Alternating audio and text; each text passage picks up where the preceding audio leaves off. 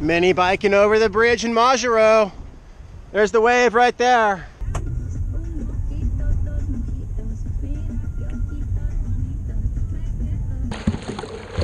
Never been here.